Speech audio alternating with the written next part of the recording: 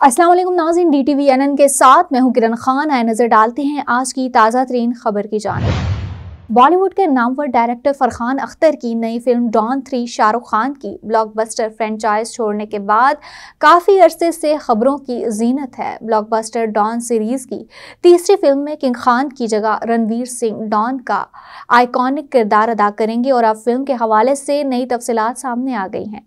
भारतीय मीडिया जराए के मुताबिक फ़िल्म इस वक्त कास्टिंग के मराहल पर है और डॉन थ्री की प्री प्रोडक्शन का आगाज़ अगले माह से हो जाएगा। जराए के मुताबिक फ़िल्म की शूटिंग रवा बरस अगस्त में शुरू होगी और फ़िल्म की टीम ने फ्रेंचाइज के मदाहों के लिए इसमें बहुत से सरप्राइज़ रखे हुए हैं। डॉन थ्री में रणवीर सिंह के मद्दे मुकाबल कौन सी हीरोइन किरदार अदा करेंगी? इसके मुतलिक अब तक कोई बात सामने नहीं आई है और शूटिंग के आगाज़ से कबल इसका ऐलान किया जाएगा। डी टी वी एन से अब तक के लिए इतना ही। देखते रहिए D T V N Desi TV USA और हमारा O T T platform D T V flix, जहाँ दो हज़ार से ज़्यादा चैनल्स को देखा जा सकता है।